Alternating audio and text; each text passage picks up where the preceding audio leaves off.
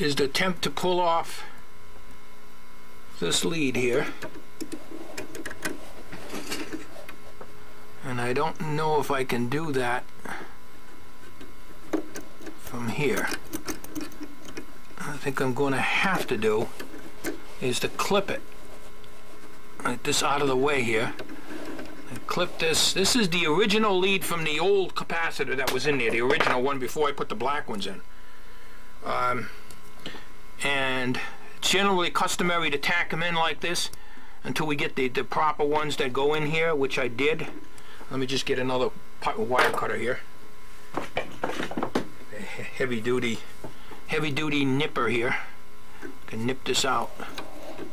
All right. Here it is. I will need to keep this little piece of uh, sleeving right here so I can uh, put it onto the uh, lead of the new cap so it's a little hard to work with the camera in the way but I do want to get a close-up alright now what I'm going to do here is to commence taking the other cap out uh, it's basically the same procedure. What we're going to do is we're going to unhook here. There's nothing wrong with these black ones. They're just not quite heavy enough. The voltage ratings of these caps aren't heavy enough. Now, this assembly right here, I made this up. I don't know if you can see that in the in here. I guess you can. Uh, I made this thing up to replace these because I didn't have these at the time. When my order comes in, I'll have some more of these. I will at that time replace this assembly with just one of these and that should do it. This is a this is a coupling capacitor for the horizontal circuit. What we are replacing is the vertical right now, right at the moment. This is all the parts that I have. Uh, and then when we're all done with that and we replace these, uh, then we should be in business. Try to get in here and all right. And again, Nothing wrong with these, it's just that they're just working at the very upper limit. When you put 6,000 volts on a, on a part that's rated for 6,000, you're pushing the limit. You always should try to go, you know, 80 or 90% of the rating of the unit. Because this is all you could get at the time, they didn't make the 8,000 uh, until, well, these are old stock, but of course, these are probably 20 years old, uh, but they're brand new. Uh, it just never been used. And I tested them out. I put the 6,000 on them and they didn't break down, so uh, I know that they're good. What I'm going to do now is I'm going to do the same thing as I did on the other side. Uh, and that is I'm going to remove this here. And if you notice, when you do any of this kind of work, you always remember where you take things off. Okay? You have to go out for coffee, go out to take a diarrhea dump or something, make very sure that you uh, uh, remember where you were left off. Okay, so we got that off, and we we are going on the junction of resistor and capacitor right here, and we'll just move this out just a little bit here. This is where we're going, and we are going on the bottom down under here is where we're going. We're clipped into here. What we need to do, what we need to do is to get this wire up out of the way here so I can see where I'm going. It's a little awkward because I'm working on an angle over here because the camera's in the way. To be perfectly honest with you, the camera's in the way. So if the camera wasn't in the way, it has to be here. I could zoom in and do the same thing, but it wouldn't uh, be as clear. I could take the camera and put it across the room and zoom in, but then my body would probably get in the way of it, and therefore uh, you still wouldn't be able to see anything.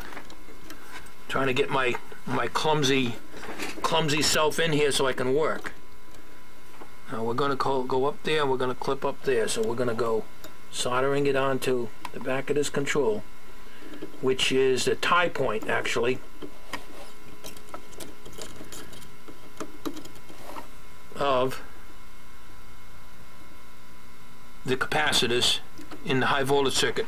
what this is here, this is a bleeder resistor network. These controls are all basically almost in series, and the taps are taken off for your focus, and then your ultor or your second anode or your high voltage uh, plate of your CRT. I'll put my soldering iron down here. We'll give it a little uh, 90 degree bend to go into here. And what we are going to do is clip this back just a little bit here. Nothing too uh, drastic because we cut the leads too short, we're in trouble. I'd rather cut not enough and then uh, always can go back and take more if necessary. Now, this is something I have never done on video, is to actually record me restoring something like this.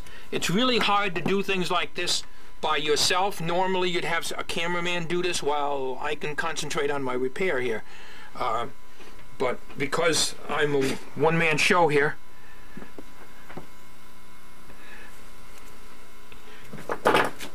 and I'm not looking for any Academy Awards on this thing, what I am doing because the voltage on this end, as I said, is about 3 to 400 volts. This is the high end here. This is what the high voltage, high tension end here. Okay, that's the part that we really need to worry about, that everything is dressed properly. Now, being that you say, well, this is close to this, but they're all at the same potential. Uh, they're all 6,000 volts above ground, and this being ground across the chassis. Uh, all these here. So the difference between here and here is maybe a couple hundred volts. Uh, the difference between this capacitor and this capacitor is uh, probably uh, 40 or 50 volts. But the difference between here and the ground chassis was to be about 6,500 volts or thereabouts. So uh, we are looking good. And I'll tell you, if these other parts come in the mail, I can change this unit.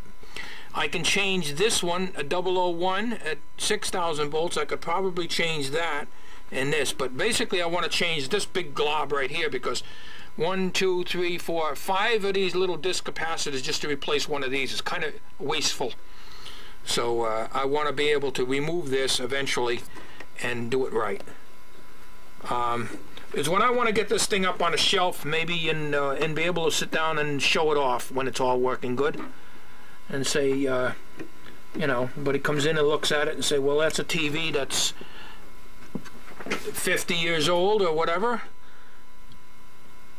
51 years old.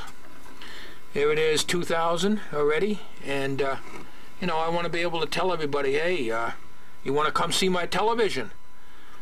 Remember we used to watch Howdy Doody on these things? Well, it probably goes back before your time.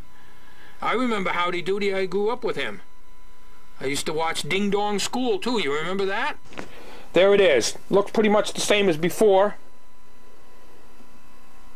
Now we got some work to do. We got some twisting here and so forth. That's an, that's related to the uh, AGC controls and so forth.